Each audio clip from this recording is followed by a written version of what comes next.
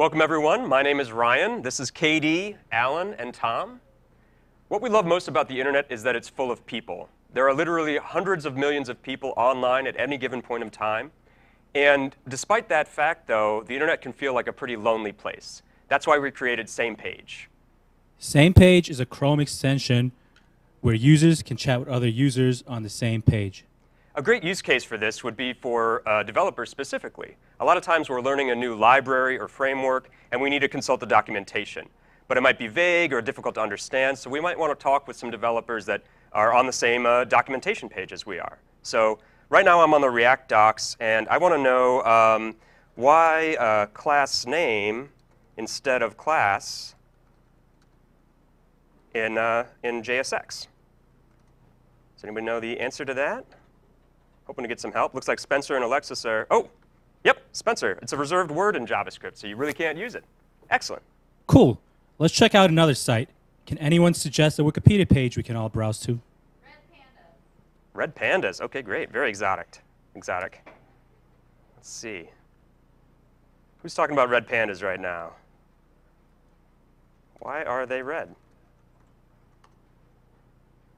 I don't think anybody knows the answer to that. They just are what they are. Oh, Spencer Wasim, about to say something? Oh, Spencer likes mini pigs. So, sometimes it's fun chatting with random strangers on the internet, but other times you want to talk with a particular group of people, such as perhaps full stack alum. That's why we created this concept of circles. As you can see, Ryan is part of four separate circles. There is the full stack circle, the, and then one circle for each of the teams you've seen present today one for Team Drawsome, Team Notion, and one for Team Hatch. And uh, you can seamlessly switch between circles and the full page just by clicking the icons on the top.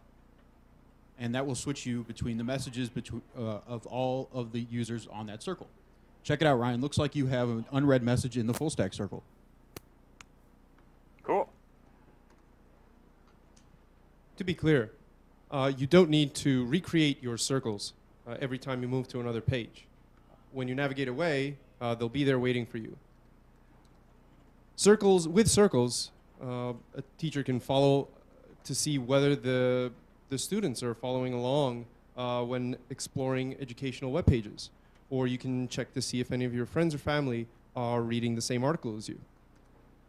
Uh, also, since uh, messages and circles persist to the database, that means that you'll not miss or lose any messages because uh, even if you uh, are disconnected from the internet.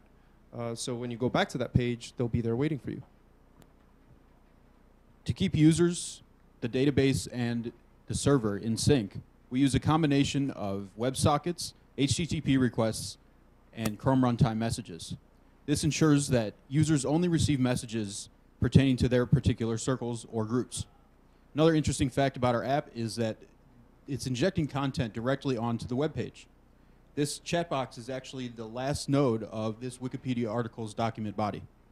This actually presented us with an interesting problem in that the styles from the uh, page that we were on were bleeding into the styles in our application. We would adopt some of their font styling, our text alignment would be off, so we had to use the shadow DOM to isolate our uh, application from the styles on the rest of the page. Our extension actually uses three separate front-end applications. There is one React application for the login and logout pop-up there, and another React application for the chat box and all the content. There is also a Redux Store running in the background. Uh, this Redux Store can even handle cases where a user has many tabs open and each is on a different website. We had a lot of fun uh, coding up all the intricacies of this uh, program and trying to optimize it uh, to ensure smooth uh, user experience. Uh, and now that we're all on the same page, uh, I think all that's left to say is thank you for coming and thank you for listening.